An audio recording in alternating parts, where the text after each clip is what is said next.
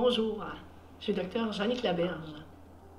Qu'est-ce que j'ai à offrir en tant que conférencière? Alors, je me présente d'abord. Euh, moi, je suis médecin de famille au Québec depuis plus de 35 ans.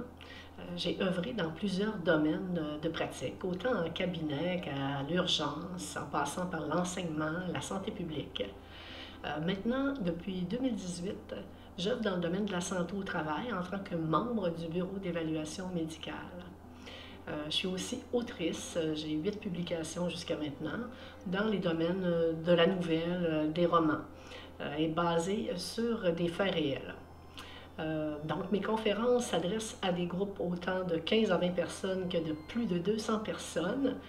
moi, ce que j'aime dans mes livres puis dans mes conférences, c'est de renseigner, de divertir et procurer des émotions et de favoriser des actions à long terme.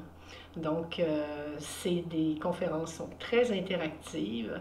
Euh, je vais poser des questions et je vais vous permettre de poser vos questions également.